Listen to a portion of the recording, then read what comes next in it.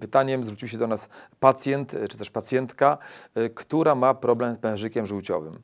Nazwała go woreczkiem żółciowym, no ale to jest synonim w medycynie używamy raczej sformułowania pęcherzyk żółciowy. O cóż chodzi? Chodzi o to, czy można wyleczyć kamicę pęcherzyka żółciowego, gdyż pacjentka ma kamienie w tymże, jak tu ujęła, woreczku żółciowym. Proszę Państwa, zioła raczej nie rozpuszczają kamieni, jak to często pacjenci by chcieli.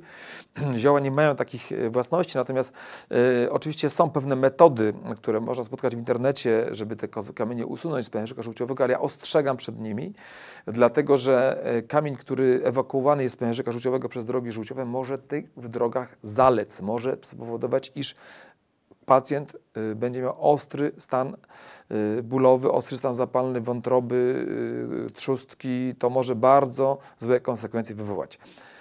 Ale pytanie, czy w ogóle usuwanie pęcherzyka żółciowego w przypadku obecności w nim kamieni jest potrzebne? Nie to nie jest warunek konieczny. Jeżeli nie ma stanu zapalnego, jeżeli na przykład ściana pęcherzyka żółciowego nie jest pogrubiała, nie ma więcej niż 4 mm, bądź też y, pacjent nie wykazuje jakichś wielkich objawów bólowych, gdy te powiedzmy dyskomforty pęcherzyka żółciowym zdarzają się sporadycznie, gdy dieta w zupełności y, wystarcza, to nie ma potrzeby usuwania pęcherzyka żółciowego.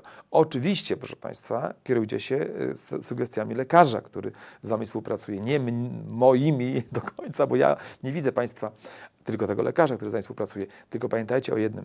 Usunięcie pęcherzyka żółciowego to jest usunięcie czegoś, co stanowi źródło, takie, taki magazyn żółci, dostrzykiwanej w momencie, kiedy jest ona potrzebna w dwunastnicy, bo tam jest ujście dróg żółciowych.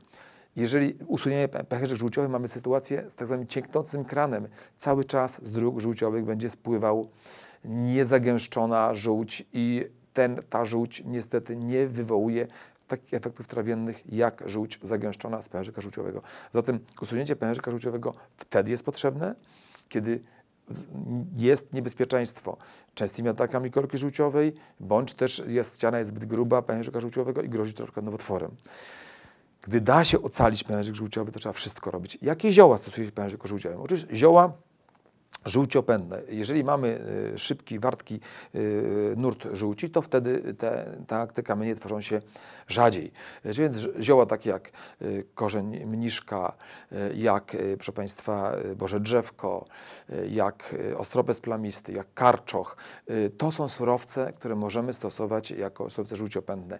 Nie wolno jedynie stosować wtedy, i to jest bardzo ważna uwaga, kiedy pacjent ma atak kolki żółciowej. Wtedy nie stosuje się ziół żółciopętych, dlatego że one by pogorszyły, a nie poprawiły stan chorego. Dziękuję bardzo.